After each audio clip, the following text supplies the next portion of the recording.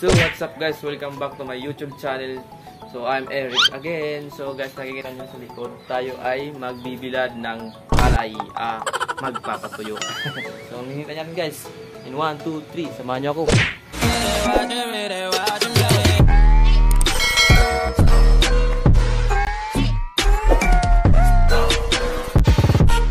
So ayun guys, meron tayong lona para sa lalagyan ng mga palay na ating papatuyuin dito sa gitna ng aming bahay.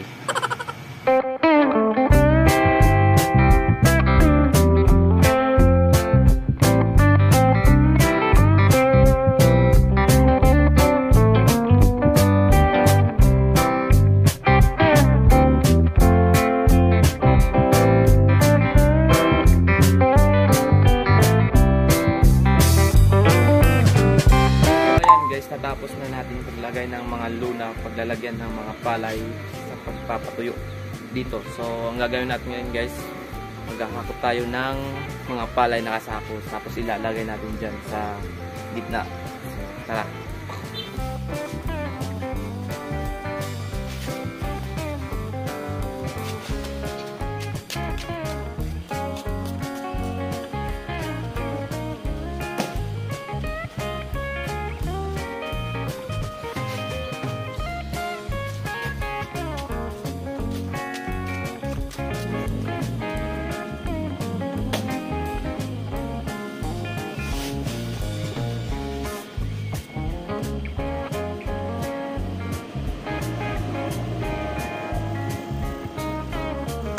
Ayun guys, natapos na natin paglalagay ng palay sa luna. Tapos, atin naman siyang ang tawag dyan, sasarangin. Hindi ko alam ang tawag Tagalog dyan, sasarangin. So, may mga manok. Tapos, atin siyang ukayin.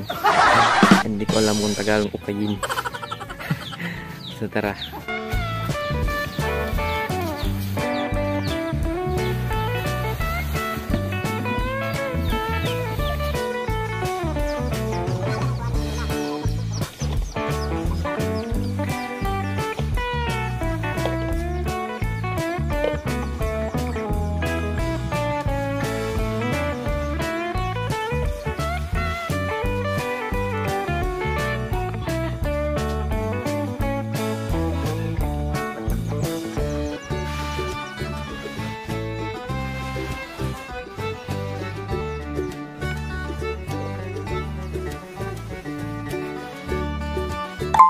So ayun guys, natapos na natin pag lalagay ng mga palay sa luna na ano natin siya na pa yung tawag dyan kaya sa amin ukay ukay na namin yung palay.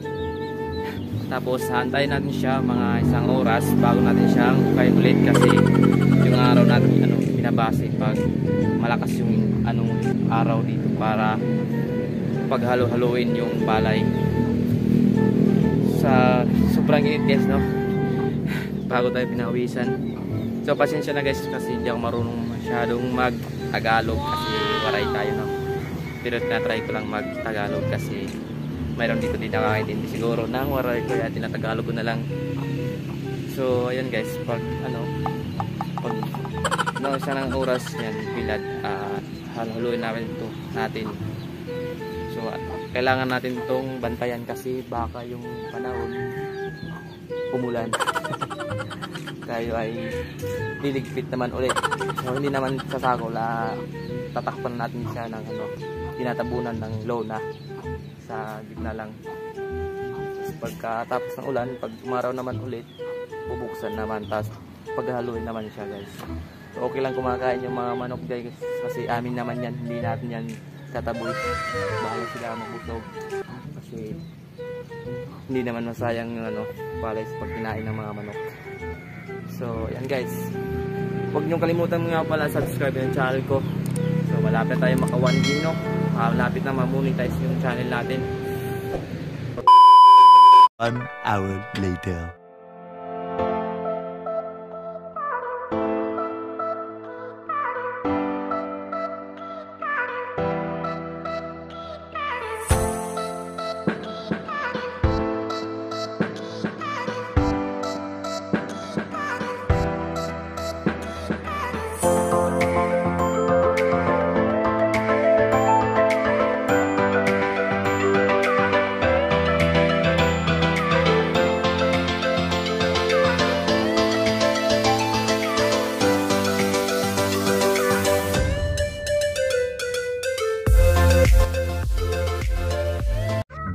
Next day. Guys, good morning. So guys, hindi tayo nakapatuyo kahapon ng maayos kasi mulan. So hindi natin nakapag-vlog video no kasi mulan malakas. So nakita nyo guys, meron tayong pinakpan na palay dyan sa luna kasi yun nga mulan. So ay ngayon guys, bukan natin ulit at bibilad sa araw. Dalawa pa yan, apat na sako yan.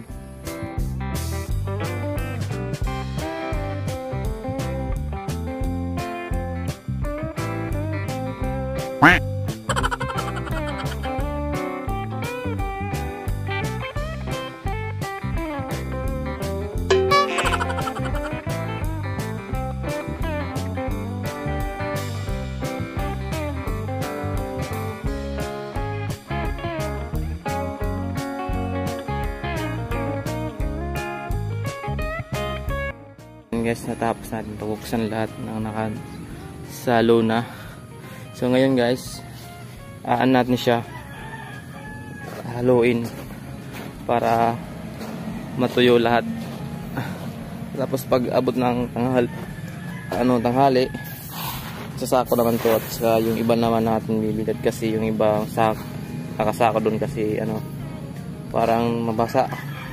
Nangingitim. Kailangan ibilid agad So, ayan guys. So, sakto mataas yung ano, I mean ano, maaraw. Oh, sige.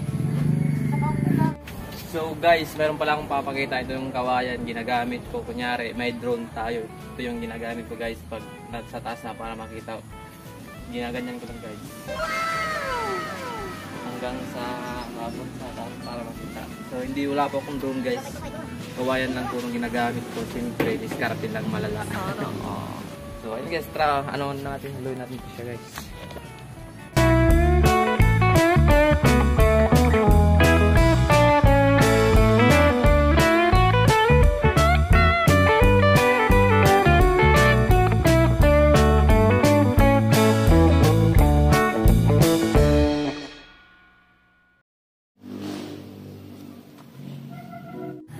guys, tatapos din natin siyang pagluluin yung palay.